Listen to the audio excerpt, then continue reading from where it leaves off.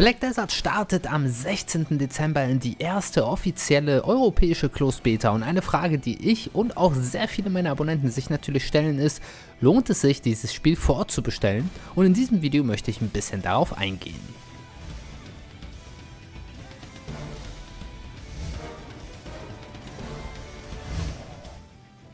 Moin moin Leute, mein Name ist Rephaser und ich heiße euch herzlich willkommen zu einem Video rund um Black Desert und um die Vorbestellerpakete bzw. um die Frage vorbestellen oder nicht.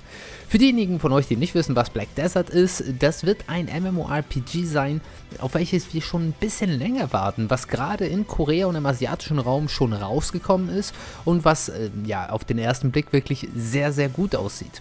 Das Problem, was ich aktuell damit habe, ist, ich lasse mich nicht mehr so einfach hypen. Besonders nicht in dem Bereich von MMORPGs, denn wir haben in dem vergangenen Jahr und auch, sage ich mal, ein bisschen vorher schon ziemlich viele Enttäuschungen erlebt. Arc Age ist nicht das gewesen, was es sein sollte. Echo of Soul ist das letzte, was mir gerade so einfällt, was sehr, sehr viele gehypt haben. War für mich persönlich auch wieder ein Reinfall. Blade and Soul wird jetzt noch rauskommen und die drei, die ich gerade genannt habe, die sind free to play. Bleibt Black Desert ist es ja wieder so eine andere Sache. Black Desert ist im asiatischen Raum komplett Free-to-Play, in Russland, wenn ich mich nicht irre, auch, aber bei uns wird es ein Buy-to-Play-Spiel. Das macht mich ein bisschen skeptisch. Warum? Es ist ein Spiel, was auf Free-to-Play aufgebaut ist. Das heißt, es wird einen Ingame-Shop geben. Ähnlich wie bei Guild Wars 2, nur noch wahrscheinlich ein bisschen weiter ausgefeilt. Aber sie haben sich für den europäischen Markt dafür entschieden, dieses Spiel zu verkaufen. Ihr werdet keine Abogebühren bezahlen müssen, aber einmalig natürlich dafür das Spiel zu kaufen. Grundsätzlich habe ich da nichts gegen, wenn eben dieser Grundsatz nicht da wäre, dass das Spiel eigentlich Free-to-Play ist in anderen Ländern und ich habe halt ein bisschen Befürchtung, dass das Spiel einfach nur Angst hat, nicht genug Content für den westlichen Markt zu bieten und somit versucht er am Anfang schon ein bisschen ja, Geld zu generieren, um somit nicht das Spiel direkt abstellen zu müssen. Das ist natürlich ein sehr negativer Gedanke, aber nichtsdestotrotz, ich denke darüber nach, mir das vorzubestellen. Und warum vorbestellen?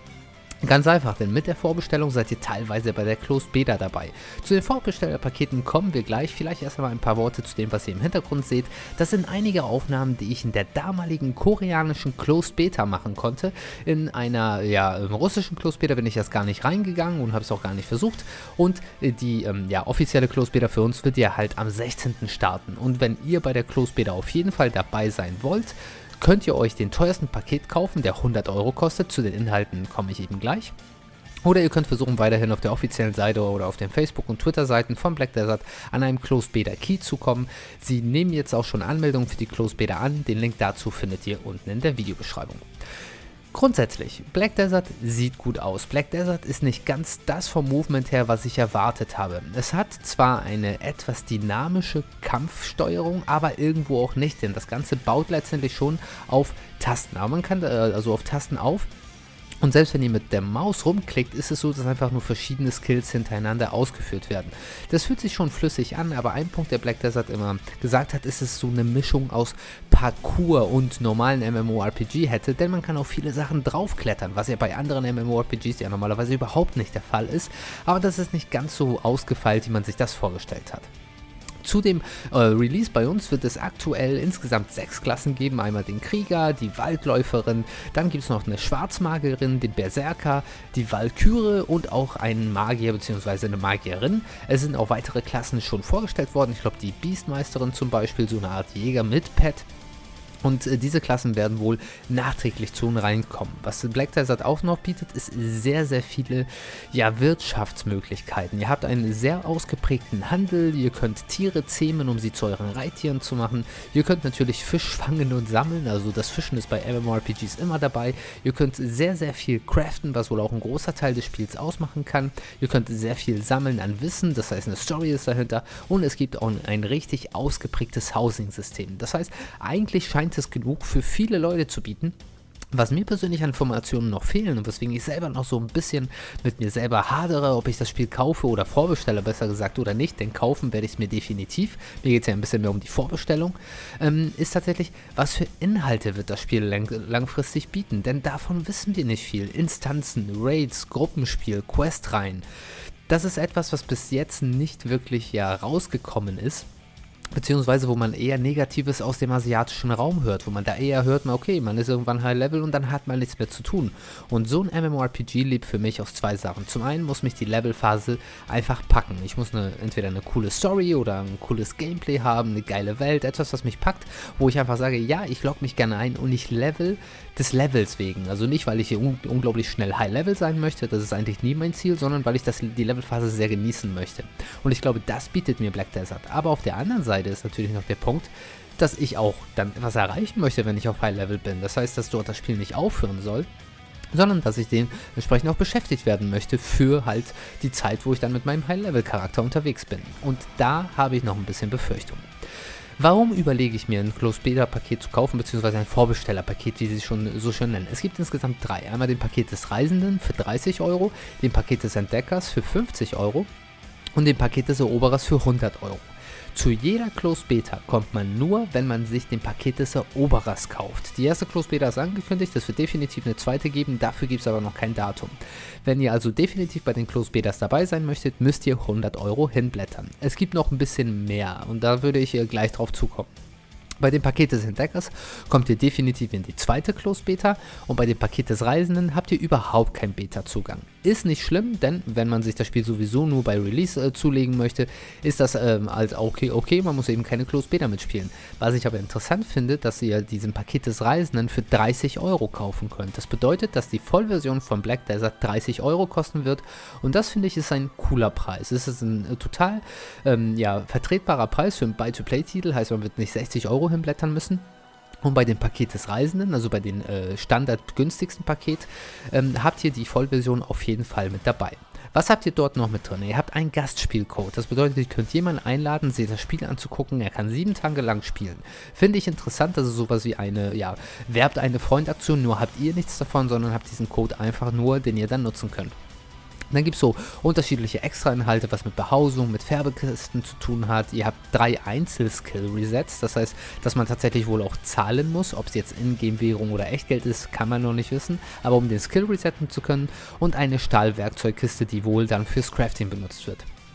Was es noch als limitierten Inhalt gibt, was es eben nur in diesem Vorverkaufspaket gibt, in dem 30-Euro-Paket, ist ein Ingame-Titel, ist die Reservierung eures Familiennamens, die Reservierung des Charakternamens. Ihr habt einen Headstart von 24 Stunden und einen zusätzlichen Charakterplatz. Da finde ich schon sehr interessant. Ich bin gespannt, wie viele Charakterplätze es eben bei der normalen Version gibt. Und ihr merkt auch hier schon, wenn es bei den Charakterplätzen eine Einschränkung gibt, dann ist das eigentlich ein Teil, also ein, ein Zeichen dafür, dass das Spiel eigentlich Free-to-Play ist. Aber wir wollen ja nicht negativ der ganzen Sache gegenüber sein. So, dann haben wir den Paket des Entdeckers. 50 Euro soll er kosten. Close Beta 2 ist man dabei. Black Desert ist natürlich dabei. Ihr habt zwei Gastspielcodes, das heißt, ihr könnt zwei weitere Freunde einladen. Dann habt ihr noch diese ganzen Gegenstände für Behausung und Färbekisten. Ihr habt äh, fünf Einzel-Skill-Resets, ihr habt ein Tier 3 Pferd direkt dabei, eine Pferdeflöte, womit ihr dann ein Pferd äh, ja, über größere Distanz zu euch rufen könnt und eine freie Haustierwahl aus unterschiedlichen Titeln. Äh, limitierte Inhalte ist auch wieder hier ein Ingame-Titel, Familienname, Charakternamen. Ihr habt einen Headstart von zwei Tagen, ihr habt zwei zusätzliche Charakterplätze und einen exklusiven Waffenskin. Ist ein bisschen was Optisches, die Charakterplätze machen mir auch hier wieder ein bisschen ähm, ja, Sorgen, aber kommen wir zum Paket des Eroberers. 100 Euro kostet das. Bester Vorteil natürlich, man ist bei jeder Close Beta dabei. Ihr habt wieder natürlich dann die Black Desert Vollversion dabei, drei Gastspielcodes für sieben Tage. Äh, insgesamt 10 von den Behausungs- und Farbekisten. Äh, ihr habt Charaktermodifizierungsticket, 10 Einzelskill-Resets, ähm, ein Tier 5 Pferd, was wahrscheinlich dann einfach etwas wertvoller und etwas äh, schneller ist. Auch wieder die Pferdeflöte, eine freie Haustierwahl und 2500 Pearls, welche einen Ingame-Wert von 25 Euro haben. Hier sehe ich dann auch direkt, okay, es gibt eine Ingame-Währung, die man für Echtgeld kaufen kann und die bekommt man hier gleich mit dabei. Was man damit letztendlich anstellen kann, das weiß man eben noch nicht. Weiterhin limitiert in diesem Vorverkauf deshalb wieder Ingame-Titel, Familienname, Charakternamen, Headstart von 96 Stunden, was schon eine andere Hausnummer ist, drei zusätzliche Charakterplätze, einen exklusiven Waffenskin und ein exklusives Kostüm. Im Großen und Ganzen warum ich wirklich so ein bisschen Bauchschmerzen mit Black Desert aktuell habe. Diese Vorbestellerpakete zeigen mir einfach nur, dass sehr viel in diesem Spiel eigentlich nach Free-to-Play klingt. Das heißt, meine größte Angst ist tatsächlich, dass das Spiel ein Free-to-Play-Spiel ist, was einfach so eine Einstiegshürde von einem bestimmten Geldbetrag noch hat.